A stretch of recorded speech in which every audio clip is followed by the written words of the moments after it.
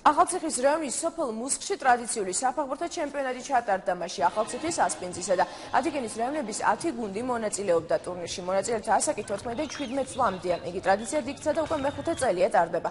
ჩემპიონატის მიზანი რეგიონებში ცხოვრობ ახალგაზრდებს შორის ჯანსაღი ცხოვრების წესის პოპულარიზაცია აღონიზება. ახალციხის მუნიციპალიტეტისა და კომპანიების გურიელისა და პესპეს ორგანიზებით ჩატარდა.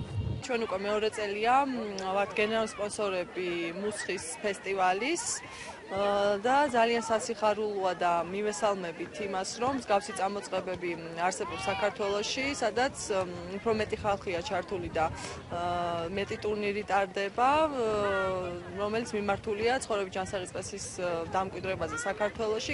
მონაწილეობენ სხვადასხვა რაიონის, ჩვენ რეგიონში შემავალი სხვადასხვა რაიონის გუნდები, ახალციხის მუნიციპალიტეტის გამგეობა ყოველთვის მიესალმება ასეთ წამოწყებას და შეძლების დაგვარად ყოველთვის გვერდ შეედგება ასეთ ლამაზ ხონისძიებას ყოველთვის. კარგია ეს ფესტივალი რო დაიწყო. ჯანსაღი ცხოვრება იქნება ფეხბურთი. და აუ ვიცი, აბა იმედია რომ ფინალშიც გავალთ რა.